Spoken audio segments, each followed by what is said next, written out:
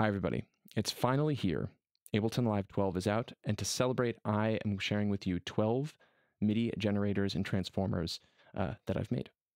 So, this is a new feature in Ableton Live this ability to create devices that programmatically modify MIDI clips. They can generate notes within MIDI clips. They can also uh, transform or modify or change the attributes of notes that are already in clips. And Live ships with, I think, 12 of them.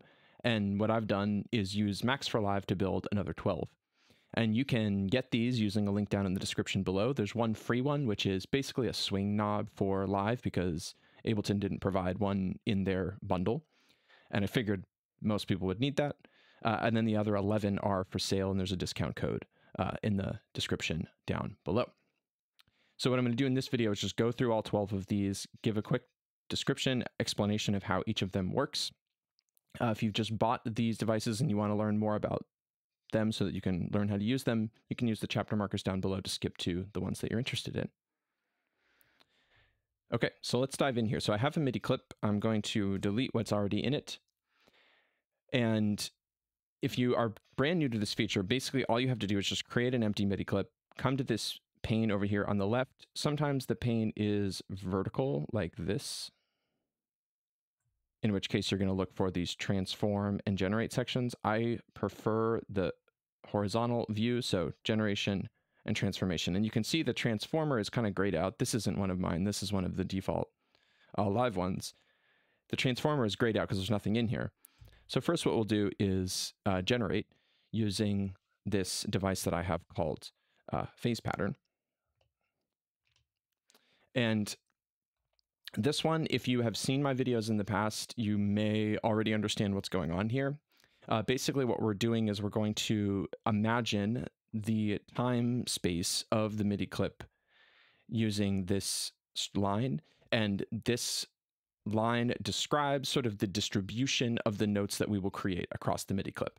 So if I press this apply button here, I've created a bunch of notes. I've created eight of them, and they're evenly spaced. And they're evenly spaced because this line is straight. You can imagine that we take the x-axis here of this little graph and we just slice it into eight even segments because we're creating eight notes. And then on the y-axis, we just draw a line to the point of intersection with each of those eight points on the x-axis. And because this is a straight line, those are all even. However, if we bend this line, then we can actually change that point of intersection uh, where the y-axis hits lines hit the x-axis points and create some different patterns. So if I start with the basic and I hit play, and then I bend, you can hear we're getting this kind of bouncing ball effect. We could also do the opposite of that. And then with this other number box, we can actually switch to kind of a whole different shape. So if I go from zero in this one all the way to one, now we have a different set of shapes from this like seat, as you might call it, shaped function up to a sigmoid or an S-shaped function.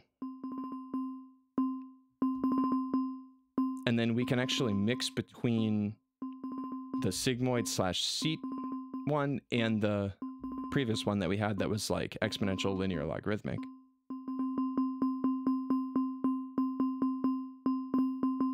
So if I set this to say 0.5 or so, we can get all these different shapes. And you can modify this function the way that I have been with these two uh, number boxes, but you can also just click and drag on the viewer here and modify it that way as well. And a lot of times what I'll do is I'll start like this, and then I'll kind of dial it in with these. And these kind of clicky, draggy function things are in a lot of these devices, so you'll see this come up a lot.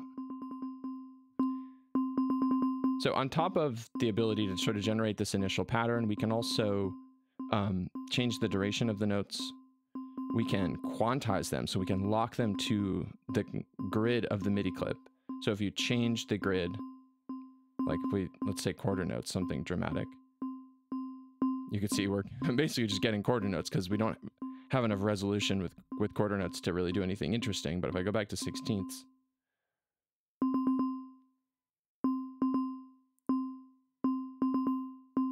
we can change the number that are getting created, the number of events. We can even randomize. So if I go back to the straight line and I just use a little bit of jitter here. Jitter basically is just a little bit of randomness to actually that spacing to give us a little bit of a human, I guess you could say, humanization, human feel with a little bit of randomness. And then you could even quantize after applying that randomness, which in some cases might be cool.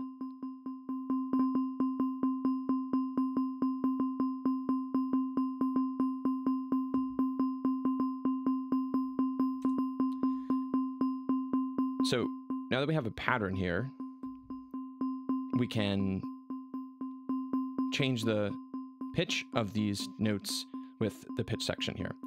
So we have a similar type of function and we have a range, which right now is just C3 to C3, so nothing's going to happen. But if I change this from to C3 to C4, now we have this rising melody, little ar arpeggio basically. We can make that fall by just switching the direction of the function, or we could change it altogether. And for this pitch and also for the velocity, uh, it's a little bit different. So we have the same x linear to logarithmic shape. But we also have, instead of the sigmoid and the seat, we have like this sine wave that can be warped left and right.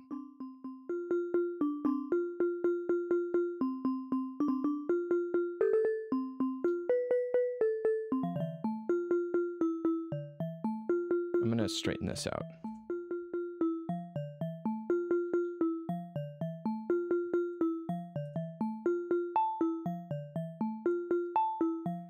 And then we can also repeat this. So I'm gonna actually lengthen my clip here, delete what's in it, and I'm gonna create uh, 32 notes. And by changing this iterations amount, we can cause this function to repeat.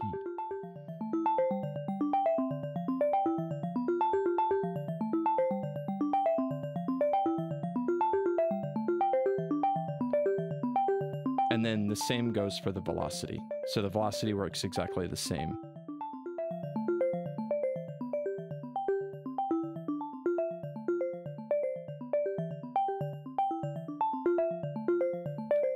So just getting a little bit more liveliness there out of that velocity modulation.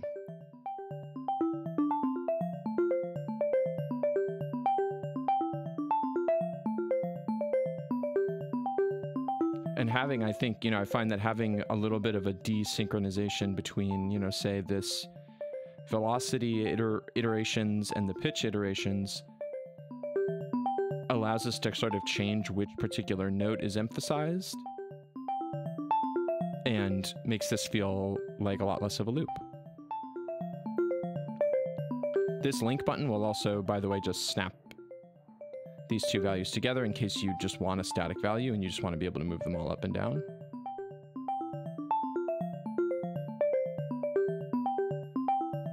So that's phase pattern. This is pretty, I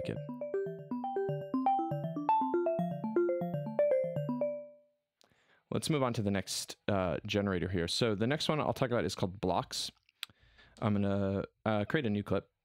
And this one is inspired by Alex Van Gils, originally by Alex Van Gils and um, Sarah, Sam, Alex and Sam from Cycling 74, who did this project called Nest Up uh, that had this concept called like a container.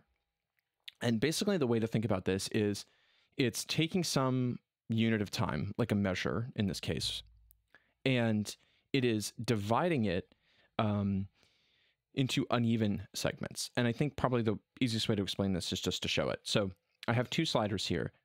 As I increase one slider, the length of the note that is correlated to it. So the second one increases and the length of the other one decreases to make it fit, basically.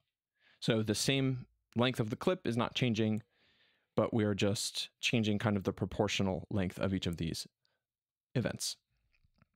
Um, and actually, I really like this one with drums. So I'm going to switch over here to drums and I'm going to switch to C1 because I know I have a kick drum there.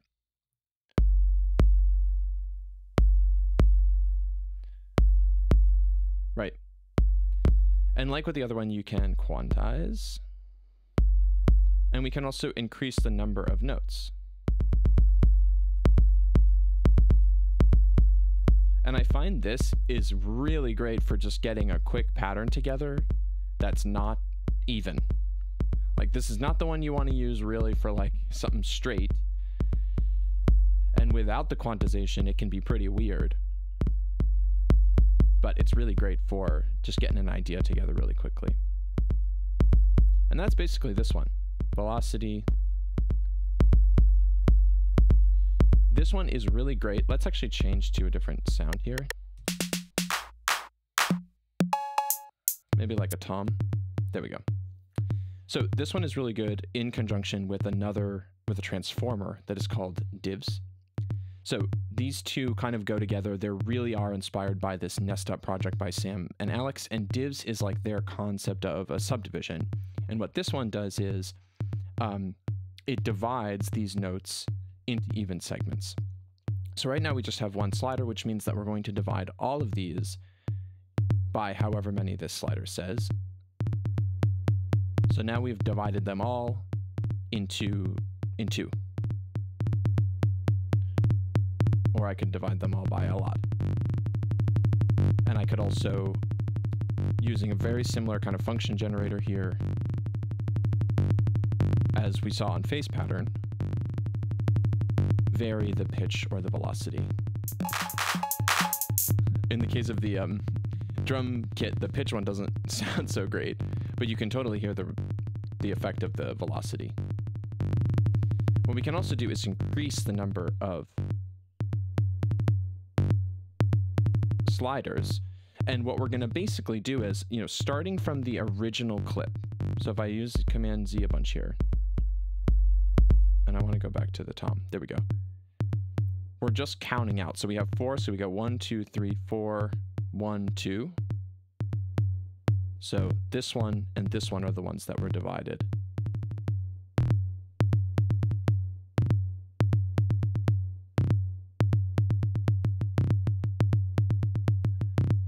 So, you know, you could see already that with a combination of the blocks and the divs, you can really get some cool stuff out of. And just by experimenting with different combinations of numbers, like how many slide, how many initial notes are you starting with from blocks? What are those kind of proportional lengths? Are those quantized or not? And then how many sliders are you using on the div side? And then what are the values of each of those sliders? Allows you to create lots of different rhythms. And just like with the other devices, we can quantize. And sometimes that will mean that you don't actually get the number of notes that you thought you would or that you asked for with these sliders. But obviously, you'll get something that is perhaps a little bit more compatible with other elements that you may have in your track. What I've been kind of finding in my experiments with these is that if I have something unquantized, very often I can't really combine it with that much other rhythmic stuff. So that music is simpler, a little bit more minimal. But if I have something that's a little bit more dense, perhaps something that wants to work on a dance floor, then I'm usually hitting that quantize button.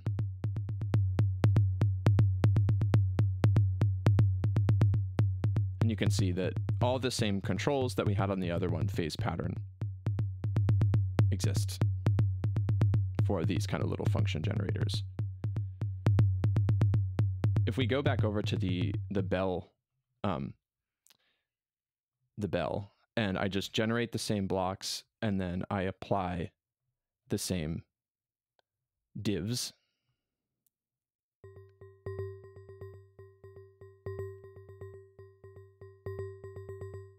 and then I do a little pitch stuff.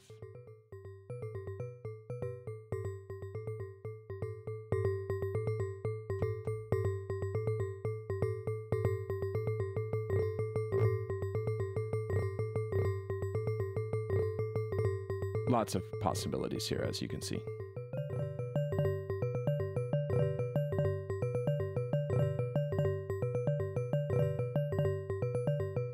So the next generator I'll show you is called Polyrhythm. And this is basically like a multi-track rhythm generator. It's really, really good for drums, but you can use it for melodies too. It's sort of similar to one of the built-in ones, which is called Euclidean, uh, but it has some extra features. So it's six tracks, so, and these are all identical to one another, and you can basically make rhythms with each of the tracks. I'm going to set the bass note here to C1. So this first parameter of each of these tracks is basically the offset from that bass. And like all of the other devices, it's scale aware. So if uh, you're using a, a pitched instrument or you have the scales avail enabled, um, then this control will offset the pitch in scale degrees, keeping things in tune. But because I'm using a drum rack here, it knows that it shouldn't enable any scales. So I'm just going to step up one by one. So if I play this,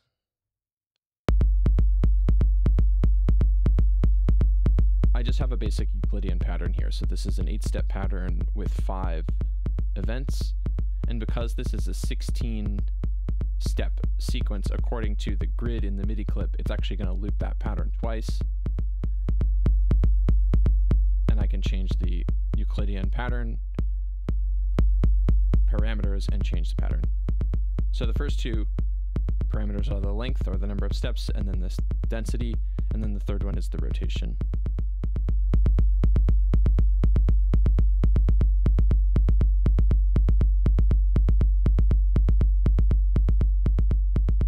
We can also add another one.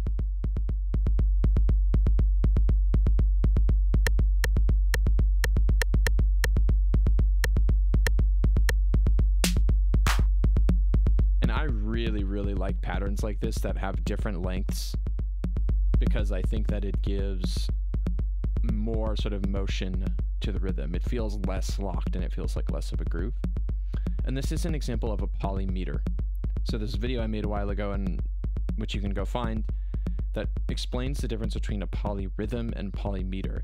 And basically, the difference between the two is that if I have uh, two patterns like this that are different lengths, one is 12, one is 11, or let's do 9 and I don't know, 16. Basically, what we do is we just, when we're done with the first iter- when we're done with each pattern, so we've counted out nine, and then we start, we want to start the next one. We just start over with the next nine, and we keep the grid resolution kind of underneath all of it the same. So we count out nine steps according to the grid, and then we just start the pattern over. In polymeter, what we do is we actually stretch the grid for each track independently according to the length. So if I do that by switching this distribution mode from fill, which is the polymetric version, to stretch, which is the polyrhythmic version, and I, let's say if I increase here, you can see we're getting kind of a weird rhythm. And that's because we have basically two elements here that are using very different underlying grids. This tends not to work that well for drum stuff, particularly if you want it to work on the dance floor, but I find that it's great for things that are a little bit more experimental and also really great for melodic material where you're not quite as concerned with it really being locked in rhythmically. Uh, so the there are these distribution modes that will allow you to toggle between the polymetric and the polyrhythmic uh, styles. There's also this third one, which is called Hug, which is like the polymetric, except it will not loop the pattern. So in the fill mode, you can see we, you know, if we have nine steps, we'll go through the first nine and then we'll restart uh, through to the end. And then when we get back to the beginning of the pattern, we'll start again with the first step.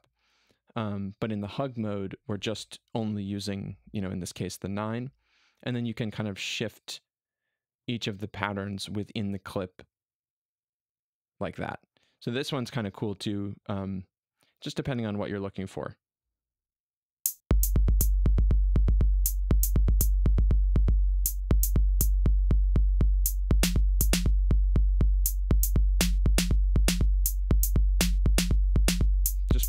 See what works. You can also enable or disable any one of these tracks with these yellow buttons.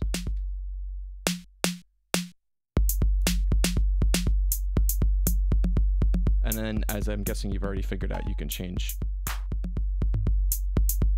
like that. Instrument or the note that you're playing, the pitch that you're playing. In addition to Euclidean algorithm, we also have a, I'm going to go back to the tom, uh, this other algorithm that I call Omni. And it is a little bit like the one that's used in the rhythm built-in Ableton device. Basically what it does is it lets you pick, like the Euclidean algorithm, I'm going to pause this, sorry. Like the Euclidean algorithm, it allows you to pick the length and the density of the pattern, but then it's not producing a Euclidean pattern. It's just going to give you, basically, it's going to give you um, pretty much any pattern that is possible given those two attributes, the length and the density. And then this third knob, the variant, basically just allows you to cycle through any other possible pattern. So like this is like kind of insane because you can literally have any possible pattern that is 16 steps long and has eight events in it. And you just can kind of scrub through and find the one that you like with this Omni mode. Uh, one note that I'll say is that this algorithm is a little, it's a little heavy particularly when you're working with longer lengths. So you may find that when you're manipulating, particularly the length and the density, that it's a little bit sluggish. Um, but when you do the variant, it should actually be pretty snappy because we've already done all the math uh, to figure that out. Uh, so yeah, that's polyrhythm, super powerful. I've been making tons of beats with it. Um, and it's really good once, you know, what, one thing that I find is that I'll kind of generate something. So I don't know, let's say yeah, I'm happy enough with that. And then then from there I will go and start to play around with things to do stuff like for example modify the velocity right because this one just produces everything at a constant velocity and if you want there to be any variation in velocity for a specific instrument you have to have another way to do that and that's where getting into kind of stacking generations and transformations with these MIDI tools is really powerful. One thing that I've definitely found is uh, it's kind of cool. You don't have to rely on one device to do everything. You just have to rely on it to be able to give you something cool. And then from there, you can um, change attributes of what you've created. So let's do that. So the way that I'm going to do that now is switch over to the Transformers tab. Uh, and I'm going to select this, uh, this one called Pattern Transform. So this is kind of a multifunction transformer and it has these two stages. So there's the top and the bottom.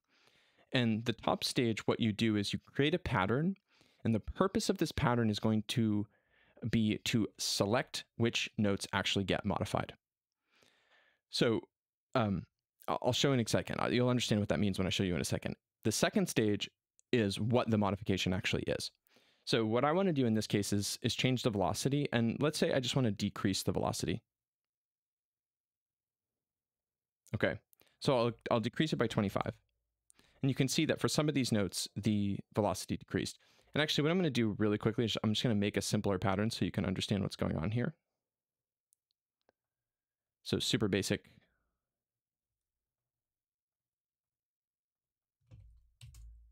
Eighth note pattern on, let's do the tom. So this pattern chooses which of these actually get modified. And this is also a Euclidean pattern. So now we're reducing the velocity of most of the notes, and you can kind of see what that selection pattern looks like over here. We can also have uh, this reduction of the velocity not just be an absolute, but we can accumulate. So we can basically add negative 10 every time we perform a transformation, and we can get these like ramps. If I increase the density to 100, you can really see what happens. we have just a falling velocity because each time we get to a step, uh, to a note that is active to be transformed, we subtract, in this case, 20. We can change the number of cycles of that accumulation that we'll do before we wrap around. Tons of power here. And I, I'm not going to spend this video going into all the features of this particular device because it's actually fairly complex, but just understand that at the top here we have a pattern section, that the pattern selects notes that are eligible to be transformed, and the bottom section performs the transformation. We Here we also have the ability to toggle between the Euclidean and the Omni algorithms, pattern algorithms. And there's also two modes that determine how the pattern is applied. So in this case, we're just counting out the notes, and the length of this sort of selection pattern is just the number of notes. So if the density is 3, basically that means that 3 of these notes are actually going to be transformed. Uh, the accumulation mode won't transform the first one though, so you can kind of get those nice ramps. But if I go back and turn off the accumulation, you can see there's three getting transformed here. You can also change it so that instead of the pattern being applied by counting out the notes, that we actually do it according to the grid. So if I do, um, if I change this to say a 16th note,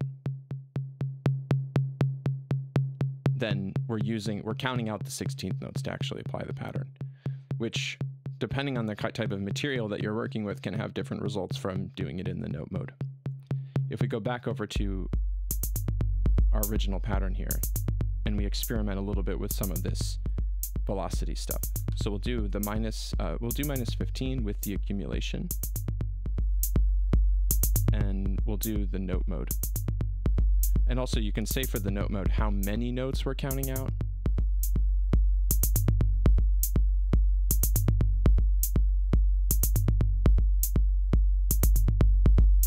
So you can see we're getting a lot of variation there in, in the velocities. Um, this device has so many other features. I won't even go into all of them. You can do the same thing with pitch uh, that you can with velocity. You can do the same thing with chance or the probability that you can with velocity. You can also divide. So basically, with this one, the notes that actually fit the sort of selection criterion are subdivided.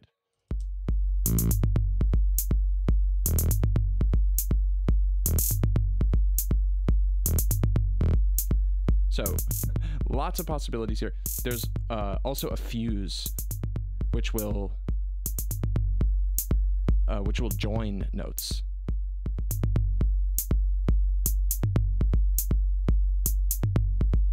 So when I, you know when I'm using this, I'm kind of just like playing around, and a lot of times what I'm doing is like option dragging to like copy a clip that I have and I like, and then I'll start from there again to make new transformations, or I'll kind of have an initial pattern and I'll just keep copying the initial pattern and make several generate um, like variations just by playing around with uh, with this device. Uh, this device also has a sibling, which is the next one I want to talk about, which is called condition transform. So this one, the bottom section is basically the same. The only difference is that it doesn't have the fuse. Uh, but the top section is totally different. It performs the same function of it's responsible basically for selecting which notes to transform. But the way that it does that is by selecting them based on the attributes of the note. So, and that attribute can be pitch, velocity, duration, or chance.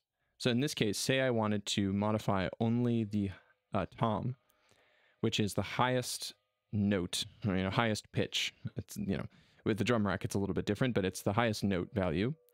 And this view here basically is like a graph that's showing you at each uh, note, which are 36, uh, whatever this hi hat is, and 43, which is the tom, how many notes there are for each of those just to give you an idea of what you're looking at, just to help you kind of visualize what's going on. And so if I select one of these and then I apply the transformation, you can see right now I'm only changing the velocity of the tom because I've only selected the toms. If I wanted to instead divide the toms, I could do that. So I'm only dividing the toms because I'm only picking the ones that have that node. I could also also divide the hi-hats, let's say. Let's play it.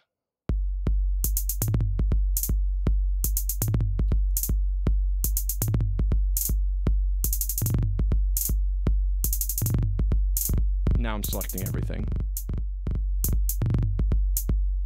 And this one, um, yeah, again, it's a, it's it's a super powerful way to just introduce variation in. One thing I'll find myself doing sometimes is just like picking velocity or some kind of, you know, arbitrary attribute in order to be able to like inject some change into the system here without like radically changing everything.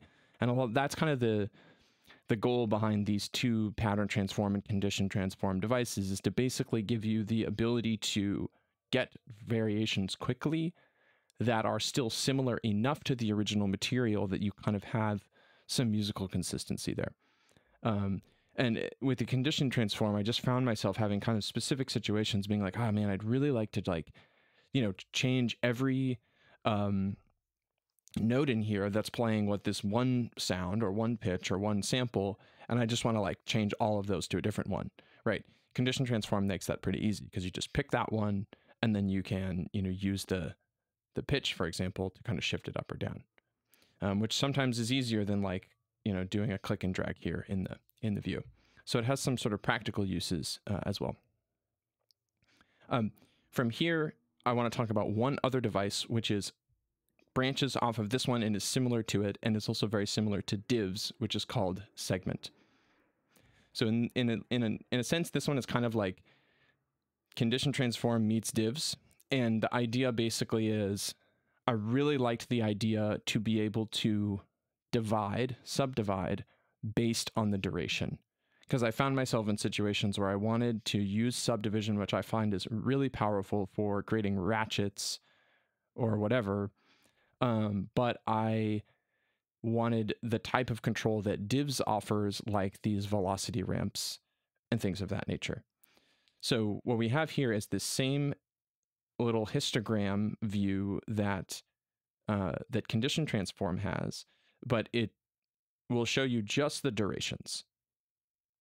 So I can pick the longer events. So, oops. Oh, by the way, with all of these, if you click and drag and you select notes, it's going to change, you know, what it's showing you. It's going to change what's kind of eligible for to the to the device. Um, but anyway, if I come back here and I pick the longer notes, and then I, let's do four. And then I do a little velocity ramp.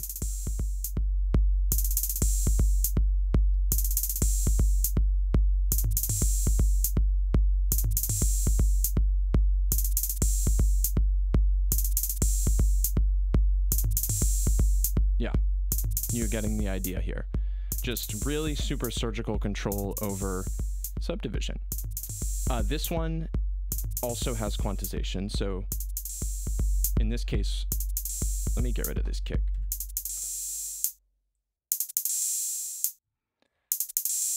Um, actually, I can't do that because of the way the MIDI tools work.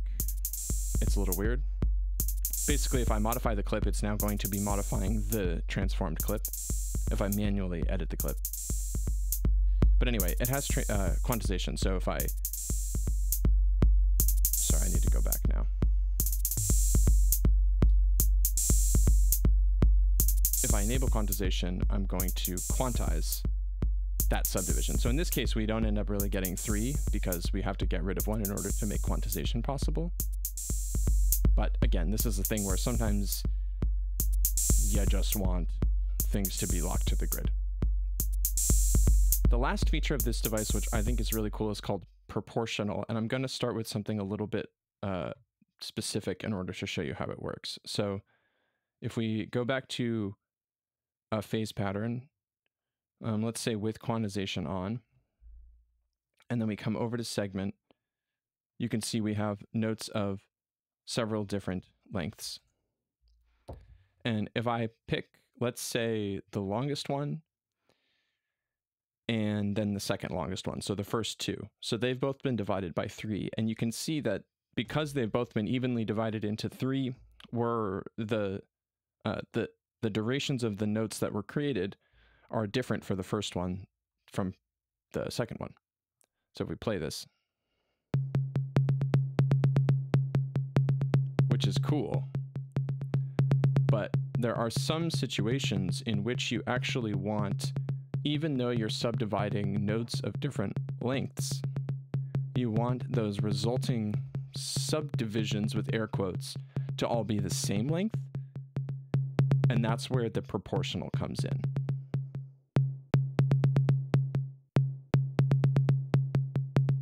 So it's kind of up to what you're looking for. So you play around and just mess with it, see what you like. Okay, so that's segment. Um, I think I'll probably go over here and do the last generator now, which is called Turing Machine. So this is uh, inspired, really. I mean, it's a it's a it's a copy basically of the very famous uh, Eurorack module Turing Machine by Tom Whitwell, which is a really simple but elegant and, and, and fascinating device for generating new ideas. Uh, so I wanted to make a MIDI tool version of this, particularly because the perhaps the biggest shortcoming of that device is that uh, it doesn't quantize or it doesn't obey any scale. Like there's no concept of a scale in it. Uh, but in live, we have the scales. So I can, with this device, generate uh, basically randomized melodies, but those melodies still stick within uh, a scale. So if I come, actually, I'm going to come over to the pitched instrument that I have here. And this is laid out very similarly to how the original device is laid out. We have these lights at the top that uh, visualize the shift register. I'm not going to explain how the Turing machine works. If you'd like to know, you can watch videos. But basically, this big knob, usually as a starting point, you want to keep it in the center. If I press um, one of these three buttons, I'm going to add a bit into this 8-bit register here. If I click a 1, I'm going to add a sort of an on or an activated bit. If I click a 0, I'm going to add an off bit. And if I click an R, I'm going to click a ran uh, create a random one based on the position of this knob. If the knob is in the center, it's going to be completely random as to whether it's on or off. Based on that um, on that pattern, we will generate both the, the shift register will generate both a rhythm as well as pitches. And basically the way that it does that is it uses the sort of binary representation of this as a number, which is a pitch, and then, then it also just uses this itself as a rhythmic pattern. Um, so the way that you generate notes is by clicking these buttons. You can do it as I have been and kind of generate them one by one, or you can click this one and generate several in one fell swoop. And the number that you're generating is this length button here. You can also clear the register and start fresh if you want to. This knob, uh, by turning it left and right, basically if you go to the all the way to the right, I have to start with something. So let me clear and start with something. If I go all the way to the right, it's going to just uh, keep producing that same result. But if I go slightly off of it, what it's going to do basically is create similar but not totally different, not similar variations. I should really use 16 here as the length, by the way, because we have a 16 step clip here with the with the grid. So as I get closer to the end here, the amount of variation each time I click the button will be slightly less. But again, there's randomness in there, so you can't totally control it. And then going the other way, it's similar, except it will, all the way to the left, it's going to like toggle between two states. And then slightly off of that, it's toggling between two states with a little bit of variation added in. Uh, the pitch section down here can allows you to transform sort of what's happening in terms of the pitches. The, these weight sliders are a feature of the, I think like an add-on module for the Turing machine. And basically just messing with them will change kind of how, what pitches get made. And you can just mess with them. That's what I do. The range is basically how wide of an octave range are you going to get. And then the offset allows you to just like shift the whole thing up and down. And you notice like if I turn this knob, I don't actually immediately transform what's in the clip. You still have to click the button, just so you know. Because this these control the data that goes into the shift register. So this one works pretty differently from the others, but I find it really fun just to mess around, try to get you something that I can start with and then take that into a transformer. Let's hear a few things.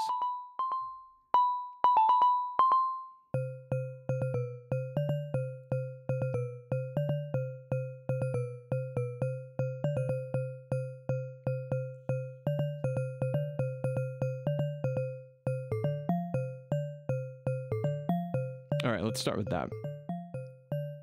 So now I'll take this opportunity to show you another transformer. Let's go with draw.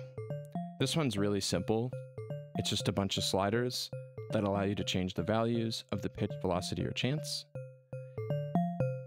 And you can either do that as an offset from the note that's currently in place, or the value, the velocity, or the chance, or whatever, or relative to some center point that you set absolutely.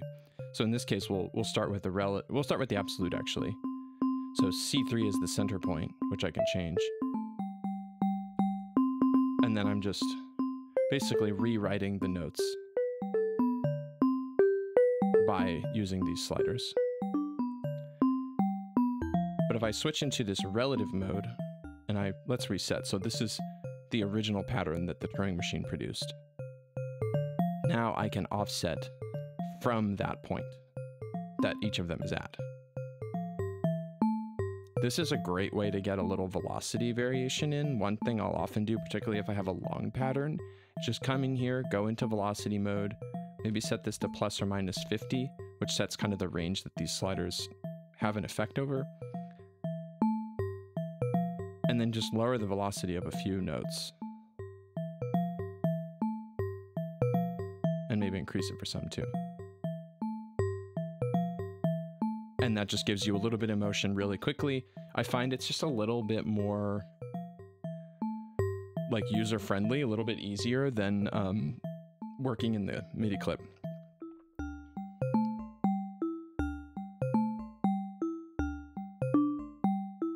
And then the same thing for the chance.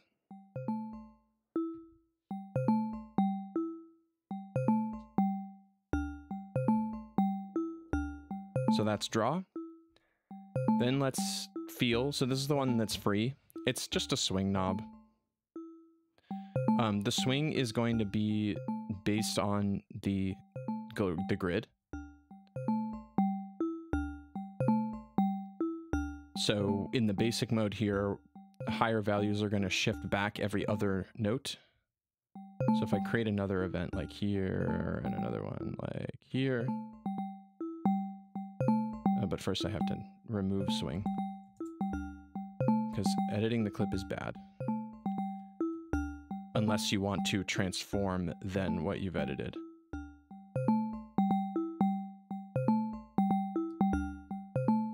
And you always have to be careful about what's selected. This is not a, a feature of my device, it's just how it is in MIDI tools.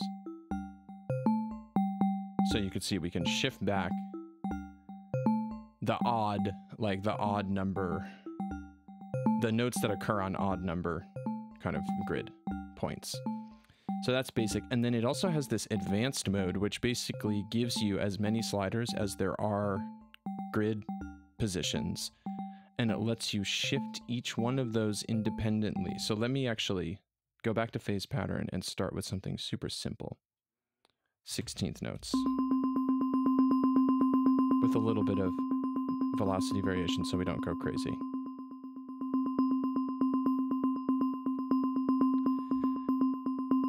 So with this, I can shift the position of each of these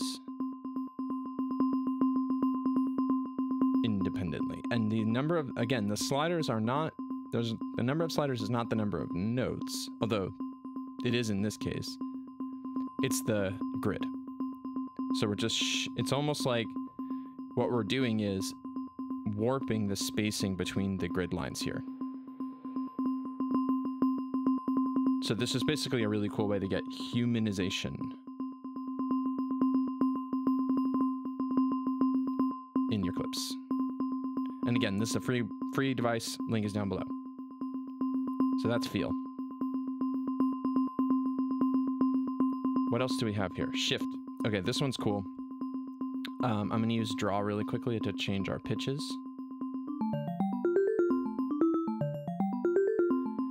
Okay, so shift is this idea. Oh, actually, I'm going to use draw on the uh, chance as well.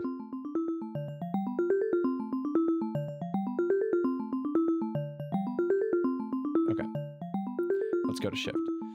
So shift allows you to take each node attribute and shift it independently of the other ones. So let's start with the velocity as an example. So I have this undulating melody, and these are the velocities applied to each of those notes. But if I shift the velocity, I can actually change how the velocities apply to the notes by just moving over those velocities and wrapping around. I can also do the same with the pitches and the chance, and I can even do it with the duration. So if I make a new clip, let's go to phase pattern,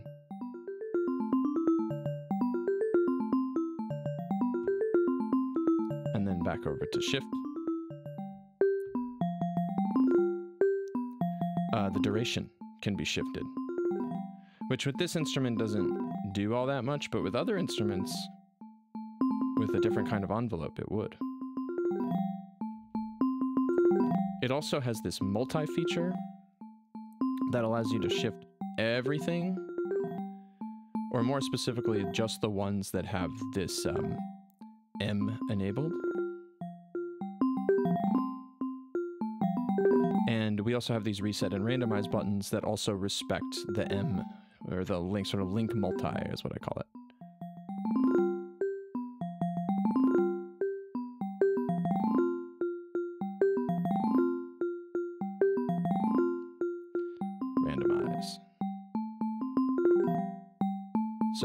To like maybe reset the duration, by the way, this button kind of toggles on or off all of them. And then I want to randomize everything else.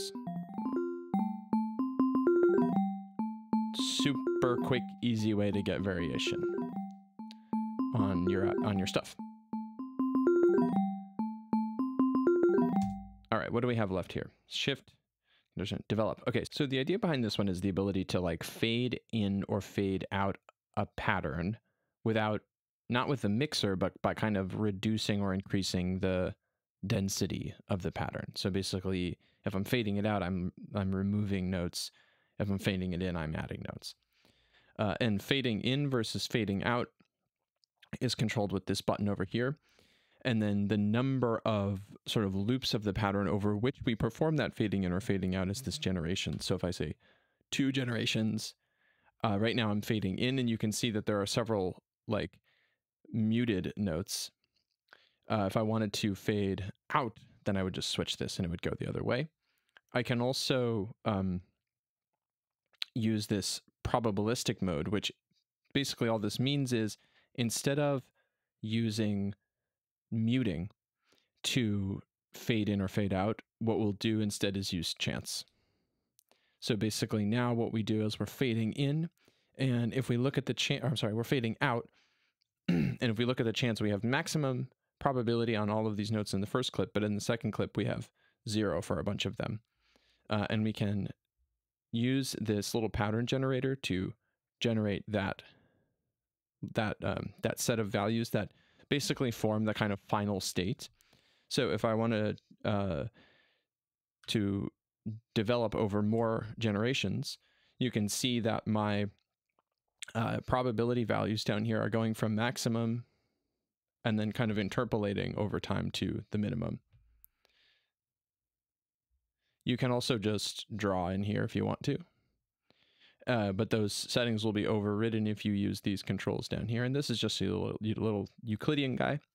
And then you can also kind of like change the range of all of them with these triangle guys over here on the right. This one is a li- I will say it's a little bit there's a there's an issue with it which is basically that in live uh, when you're using these MIDI transformers, there's kind of the the ever-present question of what should I transform? Should I transform the initial thing that you had in here, which was if I command Z a million times this, or should I transform what's actually in front of you post transformation? And the way that Live handles this base this question is basically if you manually edit the clip or you change to another clip and come back, or you change to another transformer and come back, or you even if you change things like the selection region or the loop markers, then it will uh, start to use the thing that you're seeing in front of you as the thing that gets transformed. With this device, that can be a little bit confusing, and you're going to have to Command Z sometimes if you want to um, change this loop marker position because that can't be done unfortunately either through the MIDI tools. So I'm hoping that Ableton adds an update that will allow me number one to when a MIDI transformer transforms that I can also do things like set this because you you have to do that manually and then also perhaps give either the Max for Live developer or even better the user uh, some more control over um, when that transformation happens or that change happens to transforming the old thing versus transforming the new thing. But if I play this for you, you can see there's just less and less going on. And if we extend out, by the way, all the way to one more bar, then we can just fade out to nothing.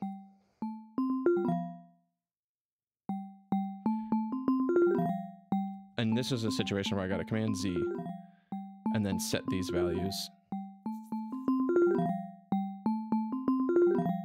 And let's do the develop.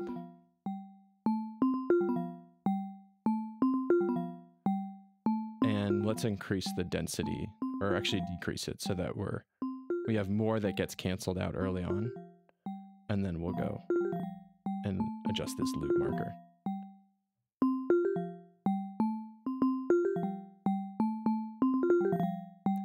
So it's this pattern that kind of becomes itself over time. So that is all the devices, I'm pretty sure. Condition? Yep, I think that's everything. Um, use that link down in, in below to get the free one. Feel if you want to buy, uh, it's 20% off the with the link in the description down below for each of these individually. There's also bundles which uh, discount, so you can like stack the discounts if you use the get the bundle which has a built-in discount plus the download code you can get these for for cheap um, and i would love love love to hear the music that you're making with these. I'd also love to hear your ideas for future ones feedback on ways to change these to make them even better. I'm all ears on all of that. Um, yeah in the meantime have fun and i hope you're all enjoying live 12 i'm going to be making lots of music for the next month or so. Thanks everybody. Bye